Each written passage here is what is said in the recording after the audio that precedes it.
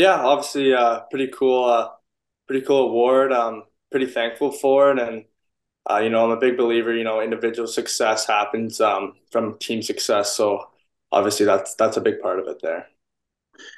37 points for yourself uh, during the season. You had nine more in the playoffs for the Golden Bears. Uh, you know what, in, in general terms, uh, you know what would you attribute some of your success on the ice to this season?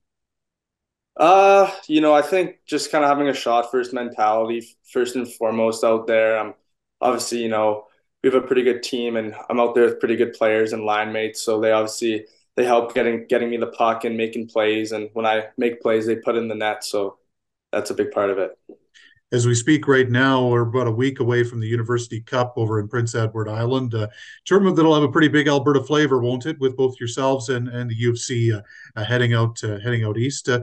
Uh, how excited are you guys? You know, you went last year uh, to to Acadia, I believe it was. how excited are you guys to get out and experience that tournament atmosphere again next week? Yeah, super exciting. You know, that's kind of what you're aiming for at the end of the year, and the biggest goal is to to make it to nationals and ultimately win. And I think just having that experience last year, there's a bunch of us on that team, and we made it made it to the final game. You know, it was, it was very valuable, and um, yeah, we're really looking forward to doing it again.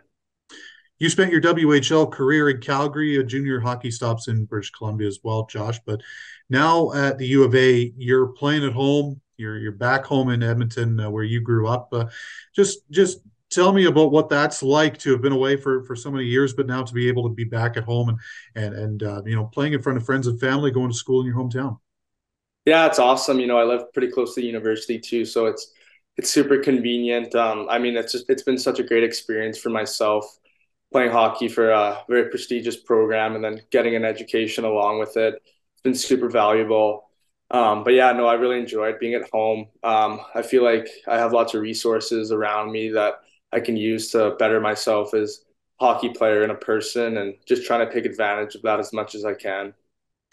During your WHL career, uh, you of course spent uh, your entire time in this league with the Calgary Hitmen. Uh, you know, you got to play with your brother a little bit. Uh, you finished up as captain of the Hitmen in that shortened COVID year in 2021. Uh, when you look back at your time in the WHL, what are some of the memories that stand out to you? Yeah, lots of memories. Uh, I played with lots of great, great players along the way, and have had Steve Hamilton as a coach who I enjoyed a lot in Calgary. Um, think a couple memories. We played in that outdoor game in Regina, which was pretty cool. Um, I think like one of the first to do it in a while. Uh, we won. We won the our first playoff series against Lethbridge and won in Game Seven in their in their rink, which was pretty cool as well. Um, yeah, those those were ones that stand out. And then just kind of the big games in Calgary, you know, like the Be Be Brave games the teddy bear the teddy bear toss games are pretty cool just having that full crowd in the Saddledome. so those those are definitely memories that stick out for me. What's your area of study? What are you uh, working toward at the u of a? Uh, i'm in the faculty of business right now uh, currently studying finance for to be my major hopefully. So yeah that's kind of just what i'm chipping away at right now.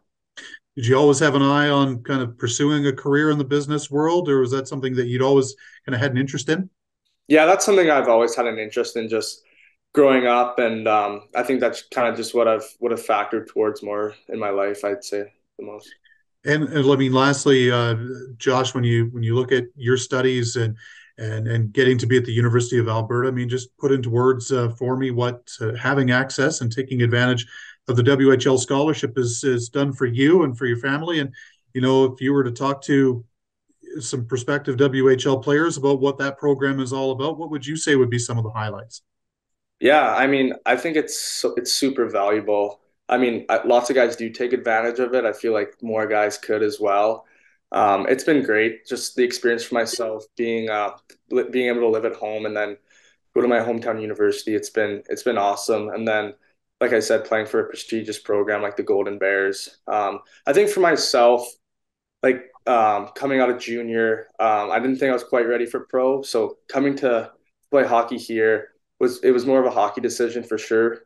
Um, but I mean, at the same time, I'm getting a great education at a great university, and I feel like I can, um, as a hockey player, you know, develop myself a little bit more here, and then make that jump when I'm ready. So it's been a great experience overall. I mean, the culture that we have here and just the, the group the group of guys as well in the dressing room and everything. It's it's second to none. So it's it's been great.